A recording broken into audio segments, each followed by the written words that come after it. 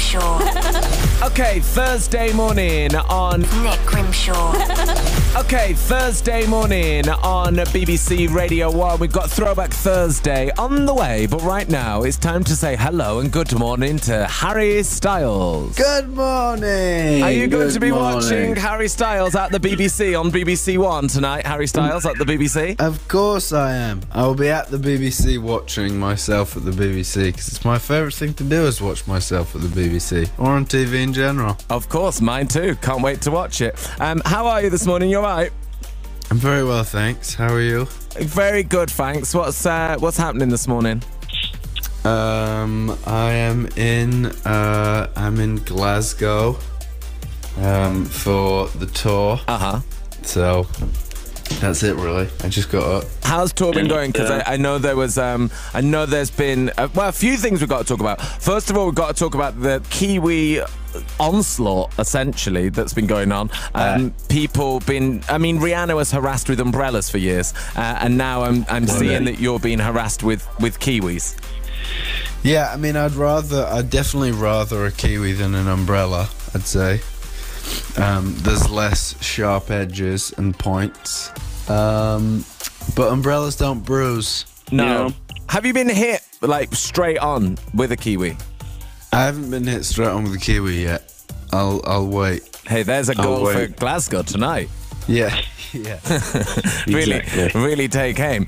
Um, and talk to me about the suits because the suits from the show have been a, a, a massive uh, talk uh, talking point. Different suit every night, a different array of glitter suits going on. Are these going to get a different wear, Harry? Because I'm thinking these suits they they work incredibly well on stage. But if I buy a suit for like a wedding, I think oh I can wear that again to like I don't know a christening or like Yeah. a, a work event. It's not going to get the same sort of usage, is it? Well, I have a couple of christenings coming up, so I might reuse Can't the gold wear- one, for example. I might use the gold one No, for for the christening. You can't wear that to Um, a christening. Because you're I gonna. think uh, I think I'll s- I think I'll I'll it'll be subtle. I'll slide in, stand at the back, no, uh, slip out just before the end. no, because you're gonna take the attention away from the baby who's been welcomed into the arms of God.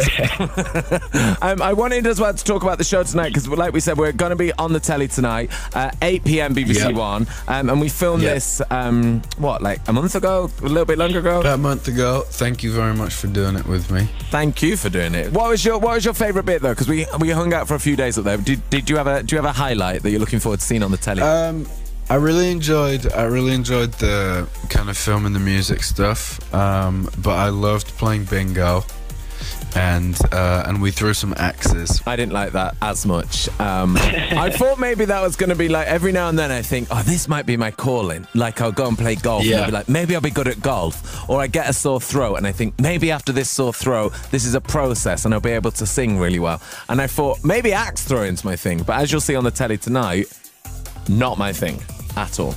Definitely your thing though. Chip butties though. Chip boys, that's my thing. there we go. I can eat carbohydrates. Great.